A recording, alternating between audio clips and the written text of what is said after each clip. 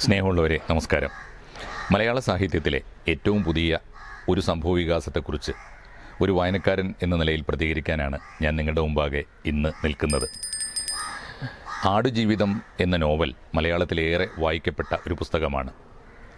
കഴിഞ്ഞ പതിമൂന്ന് കൊല്ലമായി ആ പുസ്തകം മലയാളത്തിൽ നന്നായി വിറ്റുപോകുന്നുണ്ട്. നൂറ്ററുപതിലേറെ പതിപ്പുകളായി ആ പുസ്തകം എന്നാണ് അറിവ്. മാത്രമല്ല ലോകത്തിലെ എട്ട് ഭാഷകളിലേക്ക് അത് വിവർത്തനം ചെയ്യപ്പെട്ടു.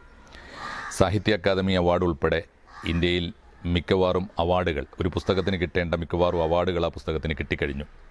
മാത്രമല്ല യൂണിവേഴ്സിറ്റിയിലും ഹൈസ്കൂൾ തലത്തിലും ടെക്സ്റ്റ് ബുക്കായി അത് പഠിക്കപ്പെട്ട് പഠിപ്പിക്കപ്പെട്ടുകൊണ്ടിരിക്കുന്നു. മാത്രമല്ല ഏറ്റവും ഒടുവിൽ മലയാളത്തിലെ ഒരു മികച്ച സിനിമയായി ബ്ലസി അത് നിർമ്മാണം പൂർത്തീകരിച്ചു വരുന്നു എന്നാണ് അറിവ്. അതുകൊണ്ട് ഒരു കഥാപുസ്തകത്തിന് കിട്ടാവുന്ന മിക്കവാറും എല്ലാ അംഗീകാരങ്ങളും നേടിക്കഴിഞ്ഞൊരു പുസ്തകമാണത്. ആ പുസ്തകത്തെക്കുറിച്ച് പക്ഷേ തുടക്കം മുതലേ വലിയ തോതിലുള്ള വിവാദങ്ങൾ വന്നുകൊണ്ടേയിരുന്നു. പക്ഷേ ആഘോഷത്തിന്റെ വാഴ്ത്തുപാട്ടിന്റെ ഒഴുക്കിനിടയിൽ മലയാളി വേണ്ട വിധം ആ വിമർശനങ്ങളെ ചെവിക്കൊണ്ടില്ല. സാഹിത്യ അക്കാദമി അവാർഡ് കിട്ടിയ കാലത്ത് ചോദിക്കപ്പെട്ട ആദ്യത്തെ ചോദ്യം നജീബ് എന്ന ചെറുപ്പക്കാരൻ സൗദി അറേബ്യയിൽ നിർഭാഗ്യവശാൽ ചെന്നുപെട്ട ഒരു മസറയിൽ ഒരു തോട്ടത്തിൽ അദ്ദേഹം അനുഭവിച്ചു എന്ന് പറയപ്പെടുന്ന കെടുതികൾ. അതിനെ കേട്ടെഴുതി പെരിപ്പിച്ച് എഴുതിയെടുത്തൊരു പുസ്തകം. കേട്ടെഴുത്താണ്. കേട്ടെഴുത്ത് മൗലികമായ രചനയാണോ എന്ന സാങ്കേതികമായ ചോദ്യം അന്ന് പലരും ചോദിച്ചു. പക്ഷേ ആ ചോദ്യം ആരും ചെവിക്കൊണ്ടില്ല. രണ്ടാമത് മരുഭൂമിയെ ഇന്നോളം ആരും വില്ലനായി ചിത്രീകരിച്ചിട്ടില്ല. മരുഭൂമിയെ ഒരു ദുഷ്ടകഥാപാത്രമായിട്ടല്ല രാക്ഷസീയമായ ഭീകരതയോടെയല്ല. മരുഭൂമി മോഹിനിയായ ഒരു നായികാസ്ഥാനത്താണ്. മരുഭൂമിയെക്കുറിച്ച് എഴുതിയ എഴുതപ്പെട്ട എല്ലാ പുസ്തകങ്ങളും തെസ്സികര തൊട്ട് എല്ലാ പുസ്തകങ്ങളും എഴുതിയിട്ടുള്ളത് അങ്ങനെയാണ്. അതുകൊണ്ട് മരുഭൂമിയെ ഇങ്ങനെ ഒരു വില്ലൻ കഥാപാത്രമായി അവതരിപ്പിക്കുന്ന ഒരു ബിംബം എത്തും എന്തുമാത്രം സൗന്ദര്യാത്മകമാണ് എന്ന പ്രകൃതിശാസ്ത്രപരമായ ചോദ്യം ചോദിക്കപ്പെട്ടു. ആ ചോദ്യവും അവഗണിക്കപ്പെട്ടു. പിന്നീട് വന്നൊരു പ്രധാനപ്പെട്ട പ്രശ്നം. ഇന്ത്യയിലെ എത്രയോ മനുഷ്യരെ പ്രത്യേകിച്ച് മലയാളികളായ മനുഷ്യർക്ക് ഉപജീവനവും സ്വപ്നങ്ങളും നൽകിയ ഒരു വലിയ സംസ്കാരത്തിന്റെയും വലിയ ഔദാര്യത്തിന്റെയും മണ്ണാണ് അറേബ്യൻ മരുഭൂമി. ആ മരുഭൂമിയിലെ ഉദാരന്മാരായ അറബികളുടെ കാരുണ്യത്തിലാണ് നമ്മുടെ നാട്ടിലെ ലക്ഷക്കണക്കിന് മനുഷ്യരുടെ ഉപജീവനം നടന്നു പോകുന്നത്. അവർക്കാർക്കും പരിചയമില്ലാത്ത വിധം ദുഷ്ടനായ ഒരു അറബിയുടെ ചിത്രം.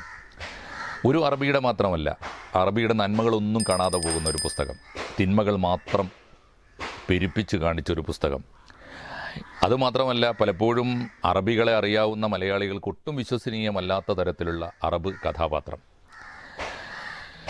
ഈ തൊഴിലാളികളെ നമുക്ക് ആലോചിക്കാൻ പോലും പറ്റാത്ത വിധത്തിൽ ഉപദ്രവിക്കുന്ന പുസ്തകം. തൊഴിലാളിയുടെ ആസനത്തിൽ കമ്പ് കുത്തിക്കയറ്റുന്ന ഒരു അറബിയുടെ ചിത്രം.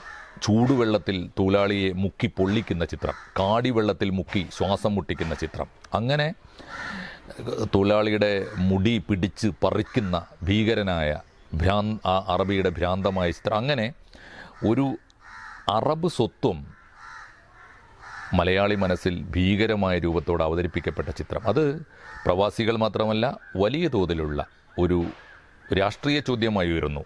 രാഷ്ട്രീയ ചോദ്യമായി ഉയരാൻ കാര്യം ഇസ്ലാമോഫോബിയയുടെ ഒരു രാഷ്ട്രീയം ലോകത്താകെ പ്രചരിപ്പിക്കപ്പെട്ട ഒരു കാലത്താണ്. ഏതാണ്ട് അതേ പാറ്റേണിൽ ഈ പുസ്തകം വിറ്റുപോകുന്നത് എന്ന ആശങ്ക പലരും പങ്കിട്ടു. പക്ഷേ ഇത്തരം വിമർശനങ്ങളൊന്നും ചെവിക്കൊള്ളാതെ പോയി. നിർഭ ഇപ്പോൾ ഏറ്റവും ഒടുവിൽ ഈ പുസ്തകത്തെക്കുറിച്ച് വന്നു ചേർന്നിരിക്കുന്ന ഒരു വിമർശനത്തിന് നേരെ ബെന്യാമിൻ എന്ന എഴുത്തുകാരന് മാത്രമല്ല മലയാളത്തിലെ ഒട്ടേറെ പേർക്ക് പ്രതികരിക്കാതെ വയ്യ എന്ന അവസ്ഥ വന്നിട്ടുണ്ട്. ഈ പുസ്തകത്തെക്കുറിച്ചുള്ള ഏറ്റവും ഒടുവിലത്തെ വിമർശനം മുഹമ്മദ് അസദ് എന്ന സഞ്ചാരിയായ എഴുത്തുകാരൻ.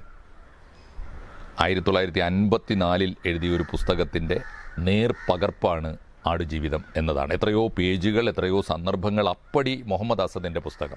മുഹമ്മദ് അസദിന്റെ പുസ്തകം യഥാർത്ഥത്തിൽ അദ്ദേഹം ഒരു ഓസ്ട്രിയൻ ജൂതനാണ്. അദ്ദേഹം അറേബ്യയുടെ സൗന്ദര്യം കണ്ട് മരുഭൂമിയുടെ മക്കളെ അറിഞ്ഞ് അവരെ സ്നേഹിച്ച് അവരുടെ പ്രവാചകനെ അറിഞ്ഞ് ഇസ്ലാം മതത്തിലേക്ക് വന്ന ഒരു ഓസ്ട്രിയൻ ജൂതനാണ്. അൻപത്തിനാലിൽ അദ്ദേഹത്തിന്റെ ദ റോഡ് ടു മെക്ക എന്ന പേരിൽ അദ്ദേഹത്തിന്റെ ആത്മകഥാപരമായ പുസ്തകം വന്നു. ആ പുസ്തകം ലോകത്തിലാകെ ചർച്ച ചെയ്യപ്പെട്ടു. പിന്നീട് മലയാളത്തിലേക്ക് ആ പുസ്തകം വന്നു. മലയാളത്തിലേക്ക് ആ പുസ്തകം വിവർത്തനം ചെയ്തത് ഡോക്ടർ എം എൻ കാരശ്ശേരിയാണ്. മക്കയിലേക്കുള്ള പാത എന്ന പേരിൽ ജമായത്തെ ഇസ്ലാമിയുടെ പ്രസിദ്ധീകരണ വിഭാഗമായ I P H Islamic publishing house അത് പ്രസിദ്ധീകരിച്ചു. ഇത്രയും നമ്മുടെ മുമ്പിൽ ഇരുന്നതാണ്. പക്ഷേ ആടുജീവിതം വന്ന കാലത്ത് ആ പുസ്തകത്തിന്റെ ഒറിജിനലുമായി ആടുജീവിതത്തെ തട്ടിച്ചു നോക്കാൻ പലർക്കും എന്തുകൊണ്ടോ തോന്നിയില്ല.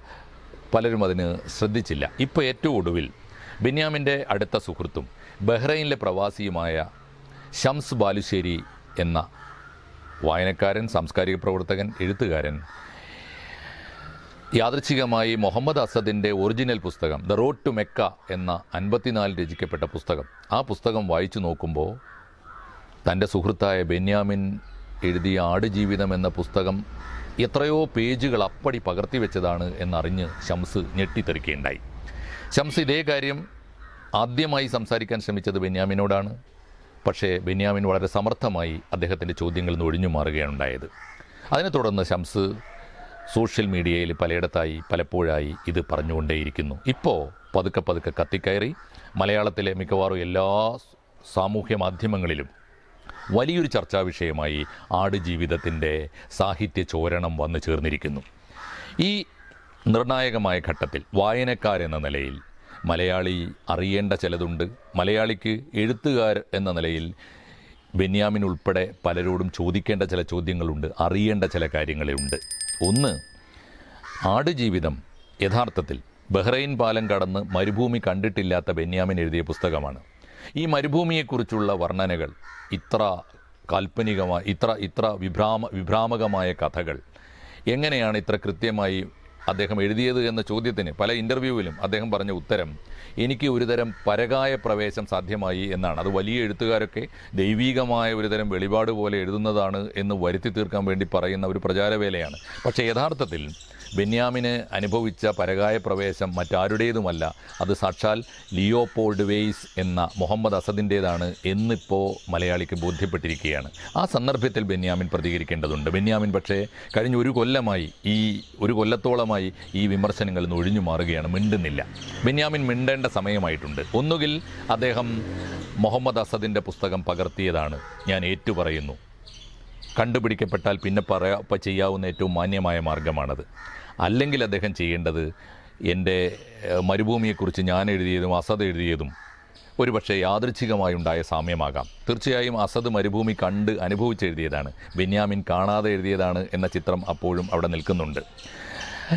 ഈ സമയത്ത് ഈ ആരോപണം വന്ന സമയത്ത് നമ്മുടെ സോഷ്യൽ മീഡിയയിൽ ബെന്യാമിനെ ചെറുക്കാൻ വേണ്ടി ഒരുപക്ഷെ ബിന്നോ ബെന്യാമിനെ പ്രതിരോധിക്കാൻ വേണ്ടി അദ്ദേഹത്തിന്റെ ലോബിയിൽപ്പെട്ട പലരും രംഗത്ത് വന്ന് പറയുന്നത് രാഷ്ട്രീയമായ ചില മുട്ടുവാദങ്ങളാണ്. ബെന്യാമിൻ ഇടതുപക്ഷക്കാരനാണ്. ഇടതുപക്ഷത്തെയും സി പി എമ്മിനെയും ന്യായീകരിച്ചുകൊണ്ടിരിക്കുന്ന ഒരാളാണ്. അതുകൊണ്ട് ബെന്യാമിനെതിരായി സംഘപരിവാർ ഉയർത്തിക്കൊണ്ടുവന്നതാണ് ഈ ആരോപണം എന്നാണ്. സത്യത്തിൽ ഷംസ് ബാലുശ്ശേരി ആരാണ് എന്നറിയുന്ന ആർക്കും ഈ ഈ ഈ- ആരോപണം കേട്ടിരിക്കാനാവില്ല. കാരണം ഷംസു ബാലുശ്ശേരി പരമ്പരാഗതമായി തന്നെ സി പി എമ്മുകാരാണ് നല്ല കമ്മ്യൂണിസ്റ്റ് കുടുംബമാണ്. ബഹ്റൈനിലും നാട്ടിലും അദ്ദേഹം പാർട്ടി പ്രവർത്തകനാണ്. ബാലുശ്ശേരി എം എൽ എ പുരുഷൻ കടലുണ്ടിയുടെ ഫേസ്ബുക്ക് പേജിന്റെ നടത്തിപ്പുകാരനാണ്. അഡ്മിൻ അഡ്മിൻ ആണ്. അതുകൊണ്ട് ശംസു ബാലുശ്ശേരി എന്ന ഒരുപക്ഷെ ബെന്യാമിനേക്കാളൊക്കെ എത്രയോ വലിയ സി പി എമ്മുകാരൻ ഉന്നയിച്ച ഒരു ആരോപണത്തിന് നേരെ രാഷ്ട്രീയമായ ആരോപണങ്ങൾ കൊണ്ട് പിടിച്ചു നിൽക്കാനാവില്ല. അങ്ങനെ വരുമ്പോൾ ഒന്നുകിൽ ബെന്യാമിൻ സത്യസന്ധമായി മറുപടി പറയേണ്ടതുണ്ട്. ബെന്യാമിൻ മാത്രമല്ല ഈ ചോദ്യത്തിൽ ഈ ഈ പ്രശ്നത്തിൽ ഒരുപക്ഷെ ഈ സാഹിത്യ മോഷണ കുറ്റത്തിൽ വിചാരണ നേരിടേണ്ട മറ്റു ചിലരും കൂടിയുണ്ട്. അതിലൊന്ന് മുഹമ്മദ് അസദിന്റെ പുസ്തകം മലയാളത്തിലേക്ക് വിവർത്തനം ചെയ്ത ഡോക്ടർ എം എൻ കാരശ്ശേരിയാണ്. കാരശ്ശേരി ആടുജീവിതം വായിച്ചില്ല എന്ന് പറയാൻ അദ്ദേഹത്തിന് കഴിയുമോ? കാരണം ആ പുസ്തകം യൂണിവേഴ്സിറ്റി ടെക്സ്റ്റ് ബുക്കാണ് യൂണിവേഴ്സിറ്റി മലയാളം വിഭാഗത്തിന്റെ തലവനായി പ്രൊഫസറായി വിരമിച്ച ഒരാൾ. യൂണിവേഴ്സിറ്റി ടെക്സ്റ്റ് ബുക്കായ മലയാളത്തിലേറെ വായിക്കപ്പെട്ട വിഖ്യാതമായ ആഘോഷിക്കപ്പെട്ട വാഴ്ത്തപ്പെട്ട ഒരു പുസ്തകം. അതും പതിമൂന്ന് കൊല്ലമായിട്ടും അദ്ദേഹം വായിച്ചിട്ടില്ല എന്ന് പറയാനാവുമോ? ഇനി അങ്ങനെ വായിച്ചില്ല എങ്കിൽ അദ്ദേഹത്തെ പോലുള്ള സാംസ്കാരിക നായകന്മാർക്ക് അത് ഭൂഷണമാണോ? പുതിയ എഴുത്ത് താൻ പഠിച്ച കാലത്തും പഠിപ്പിച്ച കാലത്തുമല്ലാതെ പിന്നീട് മലയാളത്തിലെ വിഖ്യാതമായ പുസ്തകങ്ങൾ പോലും ഞങ്ങളൊന്നും വായിക്കുന്നില്ല എന്ന് എഴുത്തുകാർക്ക് സമ്മതിച്ച് സമ്മതിക്കേണ്ടി വരുന്നത് അത്ര ഭൂഷണമായൊരു കാര്യമാണോ? ഇനി അതല്ല അദ്ദേഹം വായിച്ചിട്ട് നമ്മൾ നമ്മളാരും ഓർത്തില്ലെങ്കിൽ ഞാൻ കുട്ടിക്കാലത്താണ് മുഹമ്മദ് അസദിന്റെ കാരശ്ശേരി മാഷ് വിവർത്തനം ചെയ്ത മക്കയിലേക്കുള്ള പാത വായിച്ചത്. ഞാൻ ഓർത്തില്ല എന്ന് മാത്രമല്ല മലയാളികൾ പലരും ഈ സാമ്യം ഓർത്തിരിക്കാൻ ഓർത്തിരിക്കണമെന്നില്ല. പക്ഷേ ആ പുസ്തകം മലയാളത്തിലേക്ക് വിവർത്തനം ചെയ്ത കാരശ്ശേരി മാഷ് അതേ വാക്കുകൾ മറ്റൊരു മലയാള പുസ്തകത്തിൽ പകർത്തി വെച്ചത് കാണുമ്പോൾ ആമുഖത്തിൽ മുഹമ്മദ് അസദിന്റെ പേര് പോലും സൂചിപ്പിക്കാതെ നഗ്നമായ മോഷണം കാണുമ്പോൾ കാരശ്ശേരി മാഷക്ക് ഓർമ്മ വന്നില്ല എന്നിട്ട് കാരശ്ശേരി മാഷ് പ്രതികരിച്ചില്ല എന്ന് പറഞ്ഞാൽ അത് മറ്റൊരു കുറ്റമാവുന്നില്ലേ? ഇനി പ്രതികരിച്ചില്ല എങ്കിൽ അറിഞ്ഞിട്ടും പ്രതികരിച്ചില്ലെങ്കിൽ എന്താണ് അർത്ഥം? പ്രശസ്തരായ ആളുകൾ തമ്മിലൊക്കെയുള്ള ഒരു കൂട്ടുകക്ഷിയായി തീരുകയും ആരും പരസ്പരം ഉപദ്രവിക്കേണ്ടതില്ല എന്ന ഒരു മിനിമം കരാറിൽ ഇവരൊക്കെ എത്തിച്ചേർന്നു എന്നുമാണ് അർത്ഥം. ഇതെന്തൊക്കെ ആയിരുന്നാലും ബെന്യാമിൻ മാത്രമല്ല കാരശ്ശേരിയും ഈ വിഷയത്തിൽ പ്രതികരിക്കേണ്ടതുണ്ട്. മൂന്നാമത്തെ ഒരാൾ ഈ പുസ്തകം ബെന്യാമിന്റെ ആടുജീവിതം എന്ന പുസ്തകം ഇംഗ്ലീഷിലേക്ക് വിവർത്തനം ചെയ്ത ശ്രീ ജോസഫ് കോയിപ്പള്ളിയാണ്. ജോസഫ് കോയിപ്പള്ളിക്ക് ഇംഗ്ലീഷിലെ ഒരു പുസ്തകവും മലയാളത്തിലെ ഒരു പുസ്തകവും തമ്മിലല്ല താരതമ്യം ചെയ്യേണ്ടത്. മുഹമ്മദ് അസദിന്റെ ഒറിജിനൽ പുസ്തകം ഇപ്പോഴും ഓൺലൈനിൽ എങ്കിലും ലഭ്യമാണെന്നിരിക്കെ. അതിന്റെ ഒറിജിനലുമായി തട്ടിച്ചു നോക്കി ഈ പുസ്തകത്തിന്റെ ഇംഗ്ലീഷ് വിവർത്തനം നിർവഹിച്ച ജോസഫ് കോയിപ്പള്ളി ഈ പുസ്തകത്തിന്റെ സത്യാവസ്ഥ ഈ സാഹിത്യ ചോരണത്തിന്റെ സത്യാ സത്യാവസ്ഥ ലോകത്തോട് പറയാൻ ബാധ്യസ്ഥരാണ്. കാരശ്ശേരിയുടെ പുസ്തകം മലയാളത്തിൽ പ്രസിദ്ധീകരിച്ചത് ജമായത്തെ ഇസ്ലാമിയുടെ പ്രസിദ്ധീകരണ വിഭാഗമായ ഐ പി എച്ച് ആണ്. ആ പുസ്തകത്തെ ആ പുസ്തകാലയത്തിന് അല്ലെങ്കിൽ ആ പ്രസാധന സംരംഭത്തിന് അതിന്റെ പ്രവർത്തകരായ ജമായത്തെ ഇസ്ലാമിയുടെ സാമാന്യം നന്നായി വായിക്കുന്നവരായ ജമായത്തെ ഇസ്ലാമിയുടെ പ്രവർത്തകന്മാർക്ക് ഈ ഈ ഒരു ചോരണം ഇത്ര നഗ്നമായ സാഹിത്യമോഷണം ഇത്രയും കാലമായിട്ട് കണ്ടുപിടിക്കാൻ കഴിഞ്ഞില്ല എന്ന് പറയുന്നത് അവർക്കും ഭൂഷണമല്ല. ഇപ്പോൾ ഭാഗ്യവശാൽ ഒരുപക്ഷേ അവർക്ക് അവരുടെ ഒരു കുറ്റബോധം പോലെ മീഡിയ വൺ ചാനൽ ഈ കുറ്റകൃത്യം പുറത്തു കൊണ്ടുവരാൻ ഈ സാഹിത്യ മോഷണ കുറ്റം പുറത്തു കൊണ്ടുവരാൻ അവരുടേതായ പങ്കുവഹിക്കുന്നുണ്ട് എന്നത് ആശാവഹമാണ്. എന്തിരുന്നാലും എന്തൊക്കെയായിരുന്നാലും ഒരു കാര്യം വളരെ കൃത്യമാണ്. വിപണന മൂല്യമോ വിജയത്തിന്റെ സൂത്രങ്ങളോ വിജയിച്ചു കഴിഞ്ഞു എന്ന അഹങ്കാരമോ ഒരു പുസ്തകം നൂറ്ററുപത് എഡിഷൻ വിറ്റ് കഴിഞ്ഞതിന്റെ വിൽപ്പനാ സാധ്യതയോ? അതുണ്ടാക്കിയ ഫെയിമോ പ്രശസ്തിയോ കീർത്തിയോ ഒന്നുമല്ല ഒരു എഴുത്തുകാരനെ സാംസ്കാരിക ലോകത്ത് അടയാളപ്പെടുത്തുന്നത്. മറിച്ച് അയാളുടെ ഇന്റലക്ച്വൽ ഓണസ്റ്റിയാണ് ധിഷണാപരമായ സത്യസന്ധത. അതാണ് പ്രധാനം എന്ന് വിശ്വസിക്കുന്ന മുഴുവൻ മലയാളികളും മുഴുവൻ വായനക്കാരും ബെന്യാമിനെ വഴിയിൽ തടഞ്ഞു നിർത്തി ചോദ്യം ചെയ്യേണ്ട ഒരു ഘട്ടമാണ്. ബെന്യാമിൻ മൗനം ഭഞ്ചിച്ച് മറുപടി പറയേണ്ട ഒരു ഘട്ടമാണ്. ബെന്യാമിനെ ബെന്യാമിൻ മറുപടി പറയുന്നതോടൊപ്പം ഡോക്ടർ എം എൻ കാരശ്ശേരി തൊട്ട് ഐ പി എച്ച് വരെയുള്ളവർ തങ്ങളുടേതായ ഭാഗത്തു നിന്ന് ഇത് വിശദീകരിക്കേണ്ടതാണ്. ഇനിയുള്ള എഡിഷനിലെങ്കിലും ഡി സി ബുക്സാണ്. ആ പുസ്തകം ആടുജീവിതം ആദ്യം പ്രസിദ്ധീകരിച്ചത്. ഡി സി ബുക്സിന് പ്രസിദ്ധീകരണ യോഗ്യമല്ല എന്ന് തോന്നിയ ഒരു ഘട്ടത്തിൽ ആദ്യം അത് പ്രസിദ്ധീകരിച്ചത് ഗ്രീൻ ബുക്സാണ്. പിന്നീട് വലിയ അതിന്റെ വിപണന സാധ്യത മനസ്സിലാക്കി കഴിഞ്ഞ നൂറ്ററുപത് എഡിഷനോളമായി അത് വിറ്റുകൊണ്ടിരിക്കുന്നത്. മലയാളത്തിലെ ഏറ്റവും വലിയ പ്രസാധനാലയമായ ഡി സി ബുക്സാണ് ഡി സി ബുക്സും അത് ഏറ്റുപറയുകയും ഇനിയുള്ള പതിപ്പുകളിലെങ്കിലും അതിന്റെ ആമുഖത്തിൽ കൃത്യമായി കടപ്പാടെങ്കിലും സൂചിപ്പിക്കുകയും ചെയ്യാത്ത കാലത്തോളം മലയാളം ബെന്യാമിനോട് മാത്രമല്ല കാരശ്ശേരി മാഷോടും ഡി സി ബുക്സിനോടും ഐ പി എച്ചിനോടും ഒന്നും പൊറുക്കുകയില്ല എന്ന് പറയാൻ വേണ്ടി മാത്രമാണ് ഞാൻ നിങ്ങളുടെ മുമ്പാകെ വന്നത്. നമസ്കാരം.